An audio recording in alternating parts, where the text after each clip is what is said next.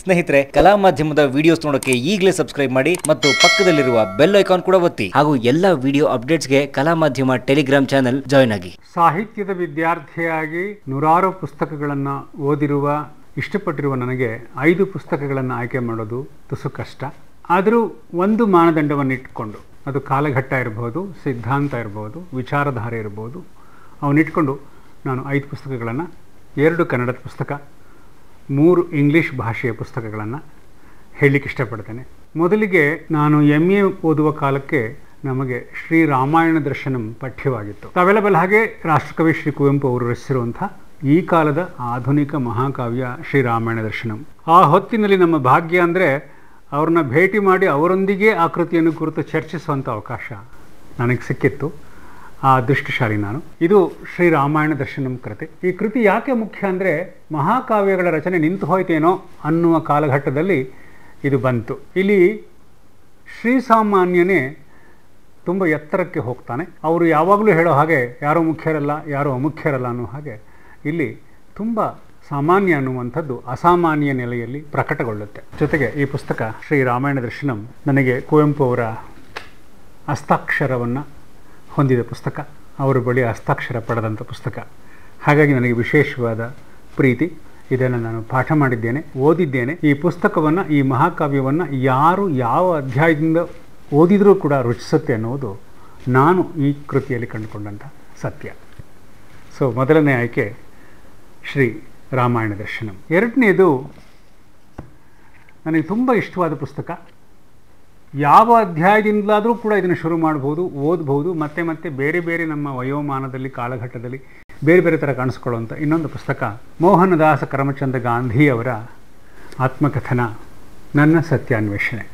ಇದರ ವಿಶೇಷ ಏನು ಅಂದರೆ ಇದನ್ನು ಕನ್ನಡದ ಹಿರಿಯ ಲೇಖಕರಾದ ಶ್ರೀ ಗೊರೂರು ರಾಮಸ್ವಾಮಿ ಅಯ್ಯಂಗಾರ್ ಅವರು ತುಂಬ ಸರಳವಾಗಿ ಅದರ ಆಶಯ ಕೆಡದ ಹಾಗೆ ಸರಳ ಕನ್ನಡದಲ್ಲಿ ಅಚ್ಚುಕಟ್ಟಾಗಿ ಅನುವಾದಿಸಿದ್ದಾರೆ ಬಹುಶಃ ಇದನ್ನು ನಾನು ಹಲವಾರು ಸರಿ ಓದಿದ್ದೇನೆ. ಯಾವ ಅಧ್ಯಾಯ ತೆಗೆದು ಓದಿದರೂ ಕೂಡ ಹೊಸ ಹೊಸ ಅರ್ಥವನ್ನು ಹೊಸ ಕಾಲದಲ್ಲಿ ಬಿಟ್ಟುಕೊಡುವ ಕೃತಿ ಗಾಂಧಿ. ನಾವು ಮಹಾಕಾವ್ಯ, ಗಾಂಧಿ ಓದುವಷ್ಟೇ ಮುಖ್ಯ ಕ್ರೂರಿಗಳನ್ನು ಅಥವಾ ಸರ್ವಾಧಿಕಾರಿಗಳನ್ನು ಅರ್ಥ ಮಾಡ್ಕೋಬೇಕಂತ ಆ ದೃಷ್ಟಿಯಿಂದ ಇದು ಕಾಂಟ್ರಾಸ್ಟ್ ಅನ್ನಿಸ್ಬಹುದು, ವೈರುಧ್ಯ ಅನಿಸ್ಬೋದು ವಿಪರ್ಯಾಸ ಅನಿಸ್ಬೋದು ಅನೇಕರಿಗೆ.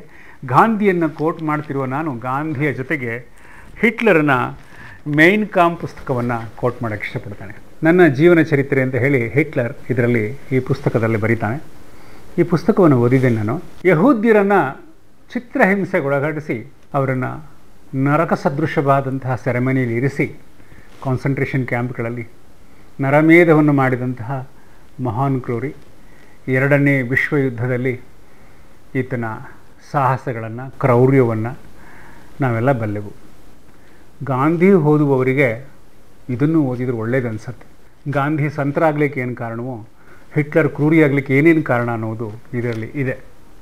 ನನಗೆ ಈ ಪುಸ್ತಕವನ್ನು ಎಫ್ಸ್ಟೀನ್ ಅನ್ನುವಂಥ ಒಬ್ಬ ಯಹೂದ್ಯ ಮಹಿಳೆ ನಾನು ಬ್ರಿಟನ್ಗೆ ಹೋಗಿದ್ದಾಗ ಕೊಟ್ಟರು ಆಕೆ ಕಾನ್ಸಂಟ್ರೇಷನ್ ಕ್ಯಾಂಪ್ನಿಂದ ತಪ್ಪಿಸಿಕೊಂಡು ಬಂದಂಥ ಒಂದು ಜೀವ. ಅವರ ಆತ್ಮಕಥೆಯೇ ಬಹಳ ಭಯಾನಕವಾದ ಸತ್ಯವನ್ನು ತೆರೆದಿರತಕ್ಕಂಥ ಜೀವನ ಚರಿತ್ರೆ ಆಕೆದು. ಎಫ್ಸ್ಟೀನ್ ಭಾರತದಲ್ಲಿ ಅನೇಕ ಅಧ್ಯಯನ ಮಾಡಿ ಗ್ರಾಮೀಣ ಭಾರತ, ಗ್ರಾಮೀಣ ರೈತರ ಅಧ್ಯಯನ ಮಾಡಲಿಕ್ಕೆ ಇಂಡಿಯಾಗೆ ಬಂದಾಗ ನನಗೆ ಪರಿಚಯ ಆಗಿತ್ತು ಅವರು ನಾನು ಗಾಂಧಿ ಓದುವಾಗ ಇದನ್ನು ಓದು you will get the contrast ಒಬ್ಬ ಸಂತ ರೂಪುಗೊಳ್ಳುವಂಥ ಒಂದು ಪುಸ್ತಕ, ಕ್ರೂರಿ ರೂಪುಗೊಳ್ಳುವಂಥ ಒಂದು ಪುಸ್ತಕ.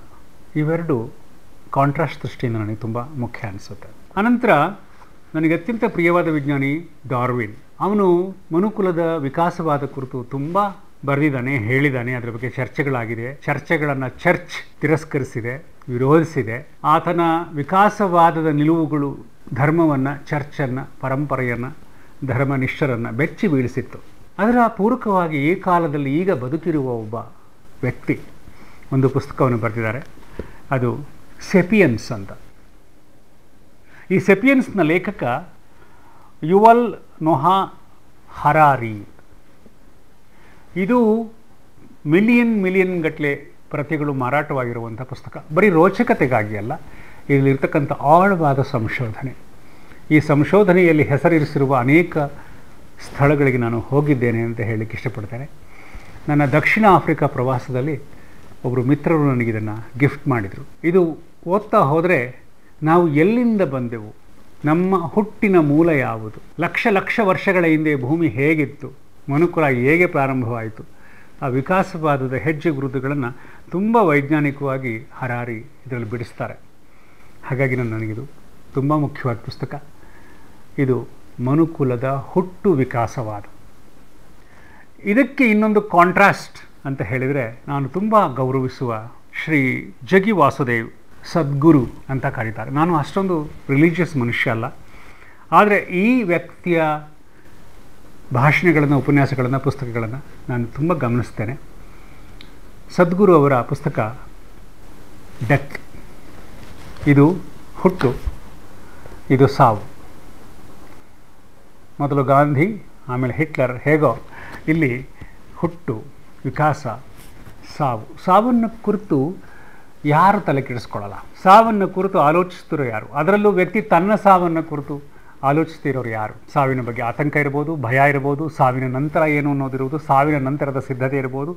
ಸಾವು ತನಗೆ ಸೋಕೋದೇ ಇಲ್ಲ ಅನ್ನೋ ಹಾಗೆ ಸಾವು ಅಂದರೆ ಬೇರೆಯವ್ರಿಗೆ ಮಾತ್ರ ಬರುತ್ತೆ. ನನಗೆ ಬರೋಲ್ಲ ಅನ್ನುವಂಥ ನಂಬಿಕೆಯಿಂದ ಅಡ್ಡಾಡುವ ಅಜ್ಞಾನ, ಅಹಂಕಾರ ಇದೆ. ಮನುಷ್ಯರನ್ನು ನಾವು ನೋಡ್ತೇವೆ. ನನಗೆ ಓಶೋ ನಂತರ ತುಂಬ ಓದಿಕೊಂಡ, ನಿರರ್ಗಳವಾಗಿ, ಅಸ್ಖಲಿತವಾಗಿ ಮಾತನಾಡಬಲ್ಲ, ಬಹಳ ಸ್ಪಷ್ಟವಾಗಿ, ನಿಖರವಾಗಿ, ಅವ್ರ ಜೊತೆಗೆ ನೀವು ಡಿಸಗ್ರಿ ಮಾಡಬಹುದು ಆ ಥರದ ಈ ಕಾಲದ ಗುರು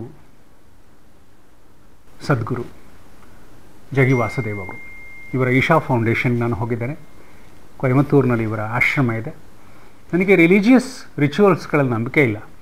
ಆದರೆ ಇಲ್ಲಿರೋ ಫಿಲಾಸಫಿ ಇಲ್ಲಿರುವ ವಿಚಾರಧಾರೆ ನನಗೆ ತುಂಬ ಇಷ್ಟ. ಕರ್ಮಠ ಮನಸ್ಸಿನಿಂದ ಮೇಲೆತ್ತುವ ಮತ್ತು ಅಧ್ಯಾತ್ಮವನ್ನು ಪರಿಚಯಿಸುವ ಪುಸ್ತಕ ಇದು. ಯಾಕಂದರೆ ಸಾವು ತುಂಬ ಫ್ಯಾಷಿನೇಟಿಂಗ್ ಆದಂಥ ವಿಚಾರ. ಒಂದು ಕಾಲಕ್ಕೆ ನಾನು ನನ್ನ ಸ್ಕೂಟ್ರ್ ಹಿಂದೆ ಸಾವು ಅಂತ ಬರ್ಕೊಂಡು ಓಡಾಡ್ತಾ ಇದ್ದೆ. ಸೊ ಹೀಗಾಗಿ ನನಗಿದು ಇಷ್ಟವಾದ ಪುಸ್ತಕ. ಒಂದು ಹುಟ್ಟಿನ ಪುಸ್ತಕ, ಒಂದು ಸಾವಿನ ಪುಸ್ತಕ. ಒಂದು ಸರ್ವಾಧಿಕಾರಿಯ ಪುಸ್ತಕ, ಒಂದು ಸಂತನ ಪುಸ್ತಕ, ಒಂದು ಹೊಸ ಕಾಲದ ಮಹಾಕಾವ್ಯ ನಮ್ಮ ನಡುವಿನ ಕನ್ನಡದ ಕರತೆ. ಇವಿಷ್ಟು ಅನೇಕ ದೃಷ್ಟಿಗಳಿಂದ ನಾನು ಫಿಲ್ಟರ್ ಮಾಡಿ ಈ ಐದು ಕೃತಿಗಳನ್ನು ತಮ್ಮ ಮುಂದೆ ಇಡ್ತೇನೆ. ನನ್ನ ಆಯ್ಕೆ ಸರಿ ಅನಿಸಿದರೆ ಈ ಪುಸ್ತಕಗಳನ್ನು ನೀವು ಓದೋ ಪ್ರಯತ್ನ ಮಾಡಿ.